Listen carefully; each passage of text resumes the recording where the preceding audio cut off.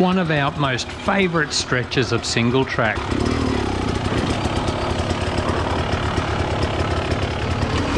Nothing very difficult, just a few reasonably technical sections. Some cruisy stuff, and all of it in good old fashioned Aussie bush.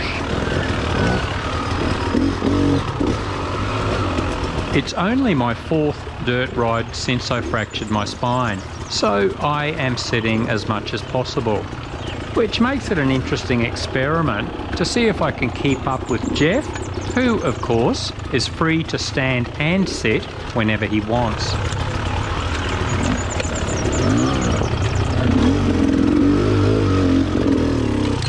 After riding so much snotty terrain the last few years, we figured some relatively easy stuff would make a pleasant change. As usual, Jeff is on the Beta RR300 and I am on the Beta Xtrainer. I still get plenty of requests for reviews about both bikes.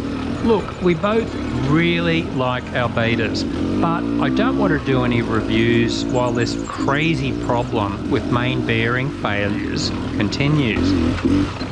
They are genuinely good bikes, but the Beta factory has really dropped the ball over this issue. It took a lot of pressure to make them even acknowledge the main bearing failures, then more pressure to make them respond appropriately. And then they changed their story about what the cause was, they claim it was fixed, then the problem continued anyway.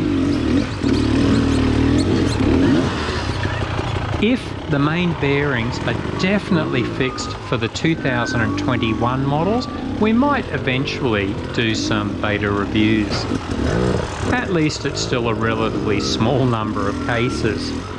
And of course, every manufacturer has various issues of their own. Our general opinion is all the European two strokes are brilliant bikes. And of course, the bikes are much better than most of us will ever be. So just choose your favourite colour and of course don't pay too much. KTMs are ridiculously expensive, at least here in Australia. It's no wonder so many are refusing to pay obnoxious prices for a pumpkin and are going for Shercos and Betas instead. Or waiting for Rieju to revive the original Gas Gas brand again. Stuff that up. Cannot wait. Oh, get out. Bloody sticks.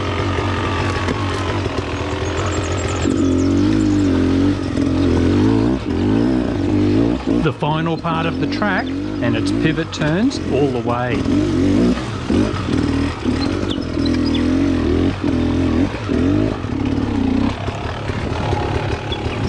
I usually stand to do these pivot turns, so this will be weird sitting on the seat all the way up.